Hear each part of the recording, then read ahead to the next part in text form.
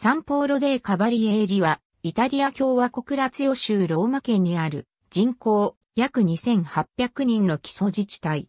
ローマ県北東部に位置するコムーネ。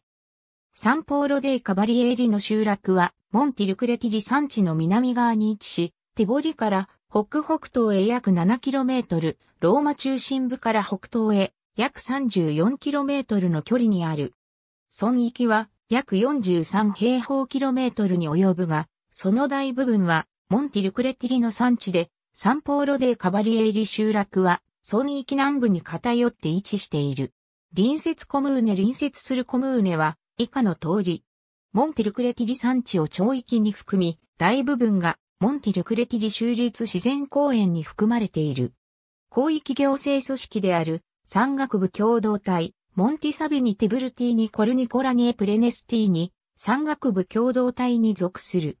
サンポーロデーカバリエリモよりの主要道路は、アニエーネ川沿いを走る SR5 で、集落内には県道が通じている。ありがとうございます。